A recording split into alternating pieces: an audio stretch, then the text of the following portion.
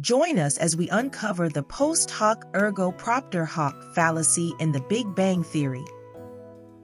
First, what exactly is this fallacy? Definition Claiming that because event Y followed event X, event Y must have been caused by event X without properly establishing causality. This fallacy suggests that because one event follows another, the first must be the cause of the second. Let's take a look at this scene from season 3, episode 1. Oh, hi, Mom. No, I told you I'd call you when I got home. I'm not home yet.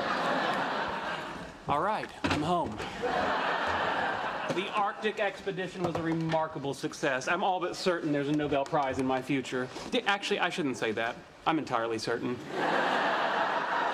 No, Mother, I could not feel your church group praying for my safety.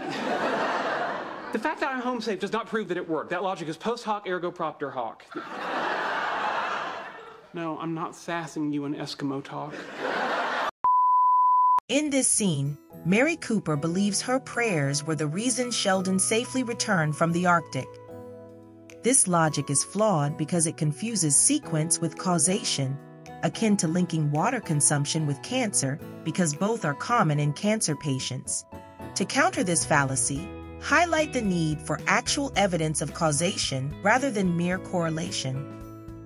Point out other factors that could have ensured Sheldon's safe return, emphasizing the logical gap between prayer and safety outcomes. Did you spot any other logical fallacies in the clip? Let us know in the comments. Thanks for watching.